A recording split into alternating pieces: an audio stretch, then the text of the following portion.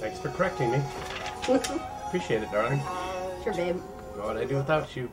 Um, I don't honestly know if he would survive without me. No. I'd be a carcass on the side of the road. But we're very independent people Mhm. at the same time. But I don't think you could survive without me. No, I'd, I'd die without you. I don't know if I'd remember to breathe without you there to remind me every time that I'm supposed to breathe, like now. Breathe. And, And breathe. thank you. Say, hey, welcome to How to Love with Mike and Dierdre. Today, um, we wanted to talk about how to cope with a partner who does not have the same political views as you. Because we can't always match up on all views. Right? oh my god!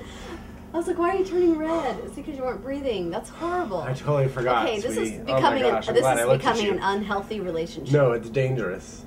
It's dangerous. We're dangerous, darling.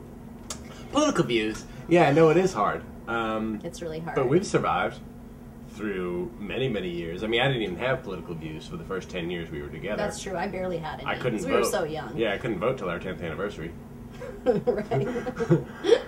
Uh, and we did not vote the same first time around. nope, we did not. No. Neither did we vote the same this last time around.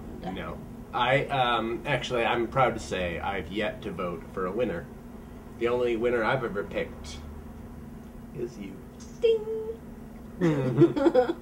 so he's kind of more right lean, leaning in his views, and I am extremely left. Mhm. I'm an, I'm a big picketer.